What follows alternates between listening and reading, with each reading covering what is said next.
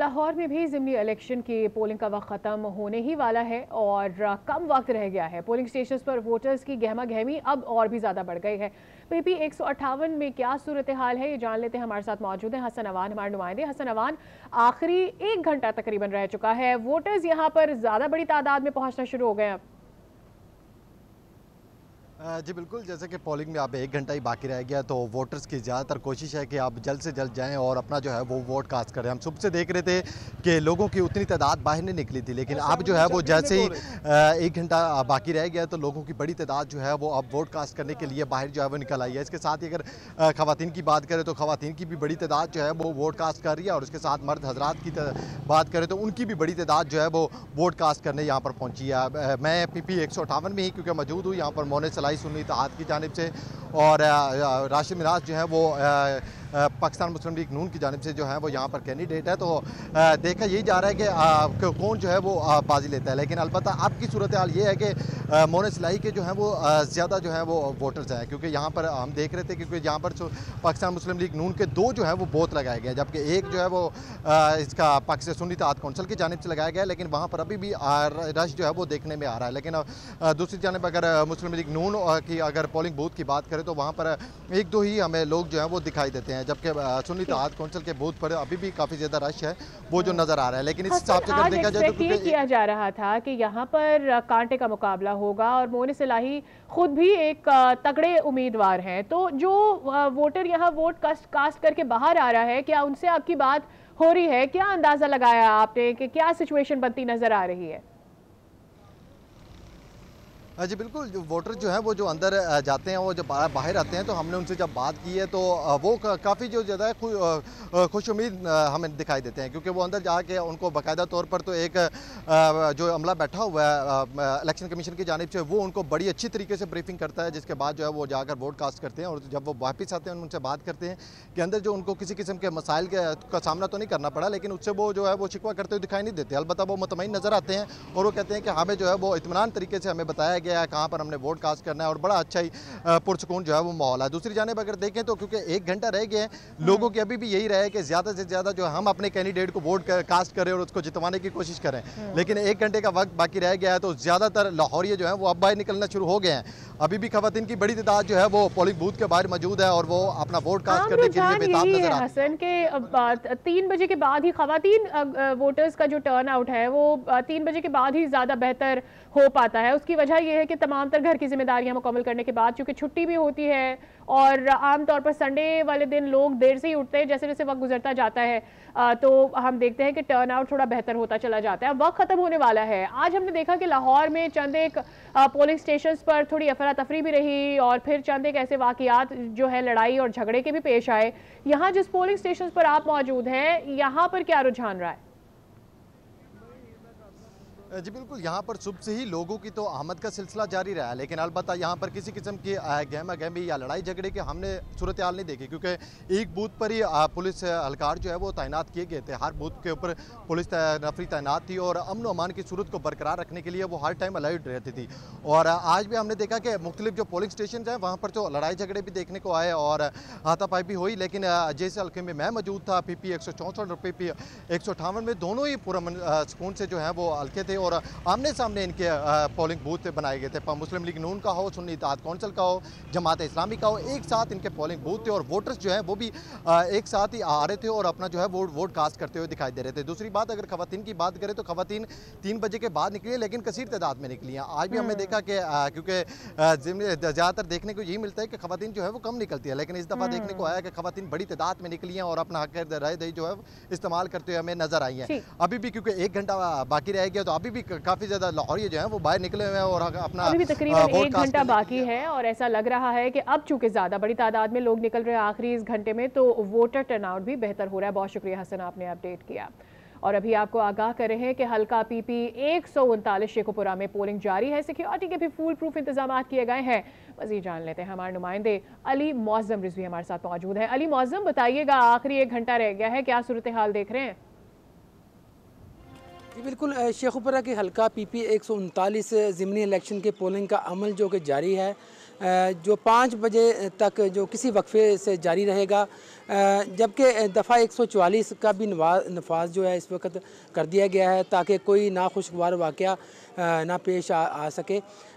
ताहम हल्का में तीन मकाम पर पोलिंग स्टेशन पर लड़ाई झगड़ों की इतलात भी मसूल हुई है जिससे पोलिंग का अमल कुछ देर के लिए रोक दिया गया था जिसमें निज़ामपुरा, ढाका में पीटीआई और मुस्लिम लीग नून के हामियों के दरमियान फायरिंग का तबादला भी हुआ। मोबाइल सर्विस जो कि नेट बंद होने की वजह से वोटर्स को शदीद मुश्किल का जो कि सामना है, अगर टर्न आउट की बात की जाए तो वोटर्स की काफ़ी गहमागामी जो कि नज़र आ रही है। हसास पोलिंग स्टेशनों पर जो कि अजाफी जो कि नफरी जो कि तैनात कर दी गई है। ठीक, बहुत शुक्रिया आपने तगाह किया। अभी अपने व्यूअर्स को ये बताते चलें कि पोलिंग का वक्त खत्म होने में एक घंटे से भी कम वक्त रह गया है और इलेक्शन कमीशन का कहना है कि पोलिंग स्टेशन के दरवाजे पाँच बजे बंद कर दिए जाएँगे। पोलिंग स्टेशन में मौजूद अफराद अपना वोट ज़रूर कास्ट कर सकेंगे। इलेक्शन कमीशन ने हिदायत जारी कर दी हैं और वाजे कर दिया है कि पोलिंग का वक्त पाँच बजे ही है। जैसे ही पाँच बजेंगे वोटिंग का अमल बंद कर दिया जाएगा। पोलिंग स्टेशन के बाहर जो मौजूद लोग होंगे, उनको वोटिंग के अमल में हिस्सा लेने की इजाज़त नहीं होगी। अलबत् जो पोलिंग बूथ के अंदर तक पहुँच जाएँगे। पोलिंग स्टेशन में मौजूद होंगे।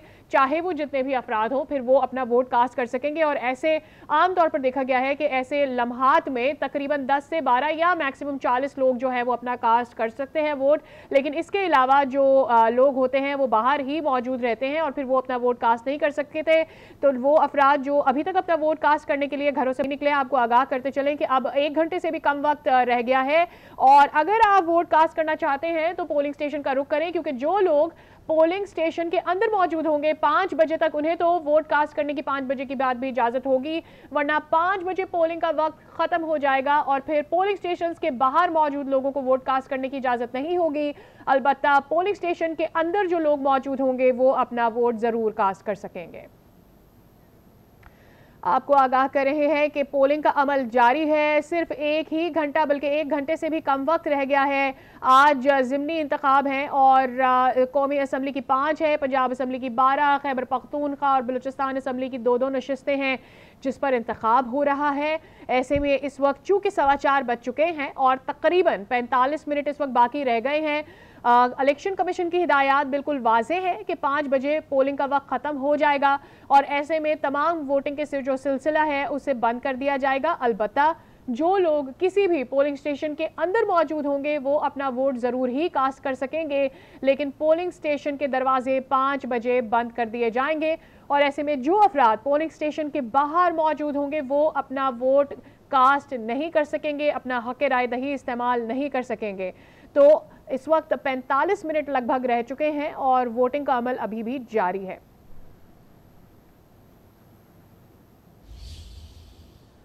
कंबर शहदाद कोर्ट में हल्का एन ए एक सौ छियानवे पर जिमनी इंतखा पर गहमा गहमी है। मजीद तफसलत हम हासिल कर लेते हैं। एहसान जुनेजो हमारे नुमाइंदे हमारे साथ मौजूद हैं। एहसान जुनेजो, बताइएगा कैसी गहमा गहमी है? जी, कमर शदाद कोर जिला के कोर जिला के हल्का एन एक सौ छियानवे पर ज़मीन इंतखाब के लिए जो पोलिंग का अमल सुबह शुरू हुआ था, वो इस वक्त तक तीन बज चुके हैं। उसके बाद जो है वो जो वोटर्स की तादाद है, उसमें हमने देखा है कि कुछ इजाफा होने जा रहा है। बारह बजे तक तो हमने देखा कि बहुत मायूस कन जो है वो तादाद थी, लेकिन दोपहर गुजरने के बाद एतवार है, जैसे और लोग जो है वो दोपहर का खाना खाने के बाद मेरे ख्याल में वो निकले हैं और इस वक्त हम शहदाद कोट शहर की सीडरा पोलिंग स्टेशन पर मौजूद है। यहाँ पर एक साथ तीन पोलिंग स्टेशन है, जिनमें दो खातन की और एक मर्दों की। तो यहाँ पर खातन की तादाद भी एक बहुत बड़ी तादाद है जो यहाँ पर पहुँच चुकी है और अपना हक राय दही इस्तेमाल कर रही है। उसके साथ मर्दों की तादाद में भी इजाफा है। वो भी अपने बारी का इंतज़ार कर रहे हैं कि वो अपना वोट कास्ट कर सके। तो मजबूरी तौर पर इन पोलिंग स्टेशनों में अब तक 400 से ज़्यादा वोट कास्ट हो चुके हैं और बाकी जो लोग हैं वो अभी वोट कास्ट करने के लिए पहुँच रहे हैं। तो तो ये की जा रही है कि अभी पिछला जो है डेढ़ घंटा दो घंटा बाकी है तो उसमें जो है वो वोटर की तादाद मजीद इजाफा उसमें हो, होने की तो है और पाँच बजे तक टर्न आउट जो सुबह इंतई मायूस कन था उसमें बेहतरी आने की तो की जा रही है। बता रहे हैं कि कसूर के हल्का एन एक सौ बत्तीस जिमनी इलेक्शन टर्न आउट में इजाफा लेकिन रवायती गहमा गहमी नज़र नहीं आई। नौजवान भी वोट कास्ट करने में पुरजोश नज़र आ रहे हैं। मजीद भी जान लेते हैं। हमारे साथ मौजूद हैं हमारे नुमाइंदे मोहम्मद इमरान फैजी। जी बताएगा इमरान फैजी नौजवानों की एक बड़ी तादाद यहाँ पर ज़रूर आई है वोट कास्ट करने ओवरऑल टर्नआउट कैसा रहा? बिल्कुल, इस वक्त मैं मौजूद हूँ कसूर के, हल कसूर के, हल्का N A one thirty two Kasur two में। ज़मनी इलेक्शन के सिलसिले में वोटिंग का सिलसिला जारी है। वोटिंग का सिलसिला तो जारी है, लेकिन वो टर्न आउट में वो खातर खा इजाफा नज़र नहीं आ रहा है, जो कि जनरल इलेक्शन में गहमा गहमी देखी जा रही है। मर्द और अपना वोट कास्ट कर रहे हैं, लेकिन एक ख़ास बात यह है कि जो नौजवान हैं, उसमें उनमें जोश जज्बा ज़्यादा देखा जा रहा है। वो बढ़ चढ़ कर अपना हक रायदही इस्तेमाल कर रहे हैं।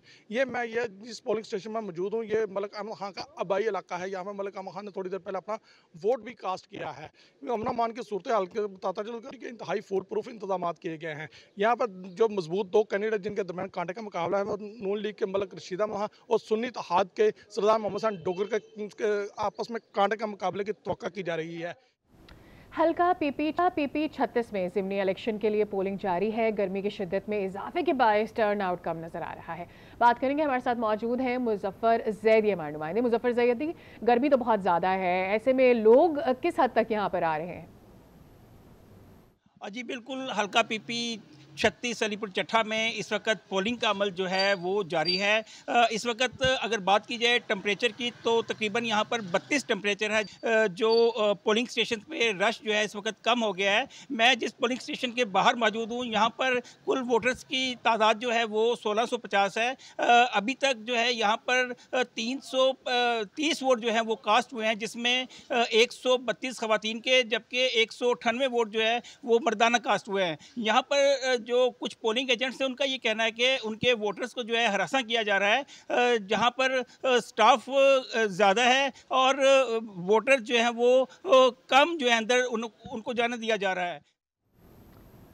उधर बाजोड़ में एजोड़ में एन ए आठ और पी के बाईस पर जिमनी इलेक्शन के लिए पोलिंग जारी है। सिक्योरिटी के सख्त इकदाम किए गए हैं। मजीद बताएँगे हमारे साथ मौजूद हैं हनीफुल्ला हमारे नुमाइंदे हनीफुल्ला बताएगा क्या सिक्योरिटी सूरत हाल देखी आपने यहाँ पर?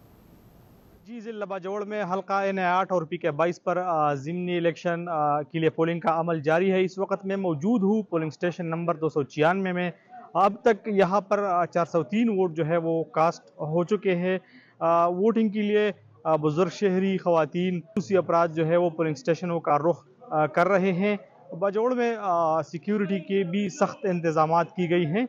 पोलिंग स्टेशनों पर एफ़ सी और पुलिस फोर्स के दस्ते तैनात की गई है। इसके अलावा सियासी वर्कर जो है, वो काफ़ी पुरजोश हैं और पोलिंग स्टेशनों के बाहर उन्होंने कैंप्स लगाए हैं और वोटरों को अपनी तरफ़ कायल करने की कोशिशें कर रहे हैं।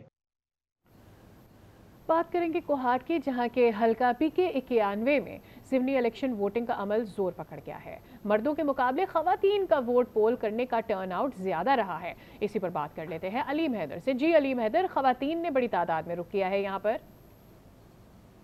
जी, बिल्कुल, इस वक्त मैं मौजूद हूँ कोहाट की तहसील लाची में। चूँकि मुल्क के दीगर अजला की तरह कोहाट ज़िले में भी हल्का पी के इक्यानवे कोहाट टू में ज़मनी इंतबात होने चला है। सुबह सूरत हाल ऐसी थी कि जो वोट पोल कर पोल करने का जो टर्न आउट था, वो इंतहाई कम था। अब जूँ जूँ वक्त गुजर रहा है, अब वोट पोल करने का टर्न आउट का कदर बेहतर है। मैं आपको पता चलूँ कि हल्का पी के इक्यानवे कोहाट टू में जो मर्दों की तादाद है वोट पोल करने की, वो कम है बनस्बत ख़वान के।